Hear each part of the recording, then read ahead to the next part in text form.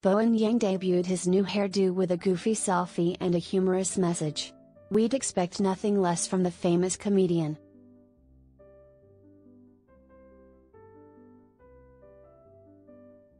Bowen Yang, 31, is about to have a lot of fun, because he's gone blonde. The Saturday Night Live star had his hair bleached blonde and took to Instagram on Monday, January 10 to debut the finished result. Of course, Bowen couldn't help himself from adding some humor to his hairdo switch up post. He shared a goofy selfie of his eyes barely open, alongside the caption, Normative queer semiotics would suggest that I am underscored but they would be wrong.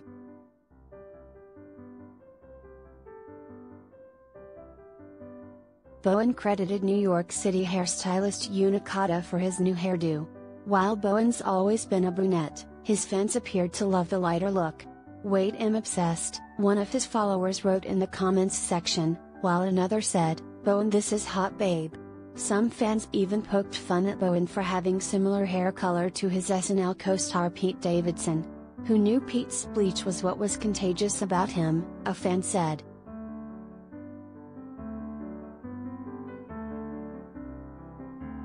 Since joining SNL's on-air talent team in 2019, Bowen has become one of the show's most valuable cast members. The Australian native is one of the cast's first openly gay men to star on the show, as well as the fourth person to join the cast who hailed from an Asian background. I really enjoyed the challenge of working around what might have been perceived as this handicap, he told Variety in June 2020. I could just have fun with it, put on a wig and pretend to be, former New York Times book critic, Michiko Kakutani. I was like, no one else can do this.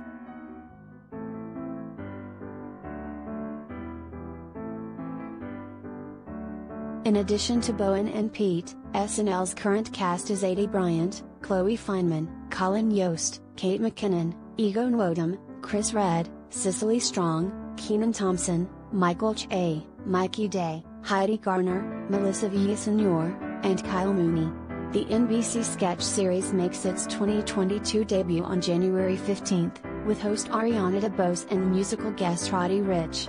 Hopefully Bowen's still rocking his blonde hair for the big episode.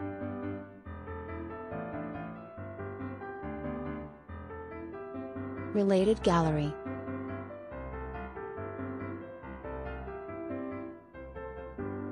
Stars as politicians on SNL, Pics